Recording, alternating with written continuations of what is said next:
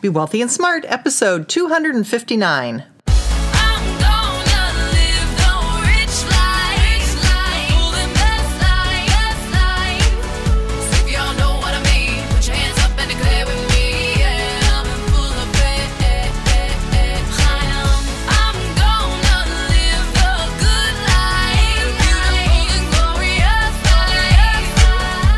Into a world of wealth and financial freedom without budgets, boredom, or bosses on Be Wealthy and Smart. And now, here's your host, Linda P. Jones.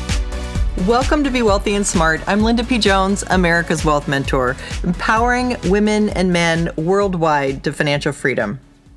On today's show, we're going to talk about the best large cap growth funds for the past five years. And you're going to learn what equity mutual funds have been performing best for five years and also for the year to date numbers through April 15th of 2017. But before we do, I wanted to let you know about another awesome podcast called Profit Boss Radio. Profit Boss Radio is hosted by MBA and certified financial planner Hilary Hendershott, who highlights inspiring women who have created success in their financial and professional lives. Each week, you can tune in and hear how women have paved the road to sustain success with both beliefs and actions. Check it out at profitbossradio.com. Well, this is going to be an interesting show today because a lot of people have moved away from investing in mutual funds. Years ago, mutual funds were extremely popular, and that's pretty much the only way that the everyday investor invested. And then ETFs came out, and because of the lower expenses and other reasons, people gravitated now more toward ETFs.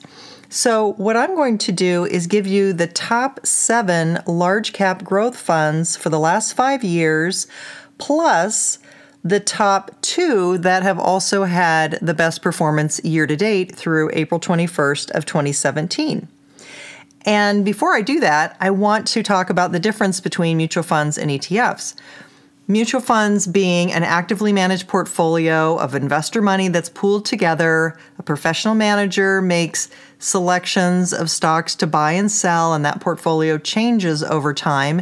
And you pay a little bit more because you have an active person making those decisions and trying to outperform generally an index. In this case, because we're talking about large cap growth funds, they would be trying to outperform the Standard & Poor's 500 index versus ETFs, which would be the S&P 500 would be an example of an ETF. It's a static portfolio of 500 stock. Because those 500 companies are not actively managed, the expense ratio can be lower.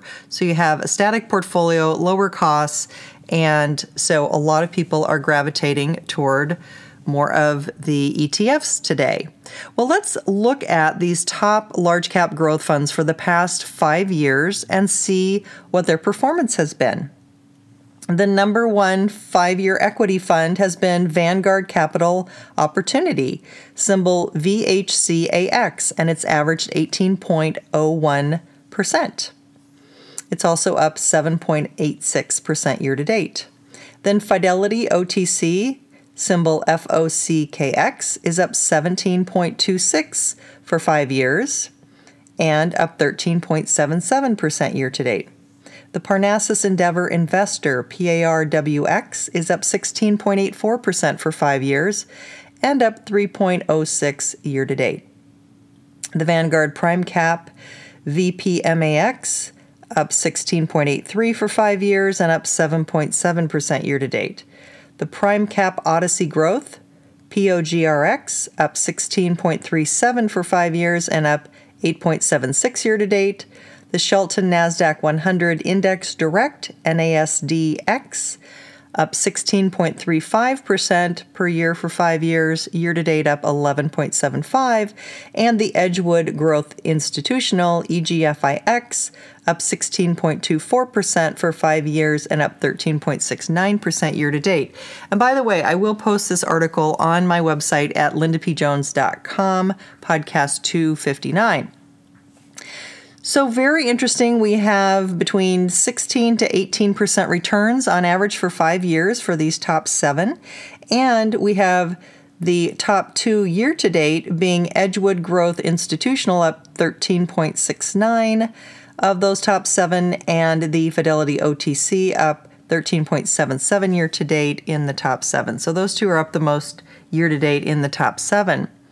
Now let's compare that to the S&P 500 index, which would be the ETF that we would compare this to, or the index we would compare this to. For the five year average, it has returned 13.65% and year to date 5.58%.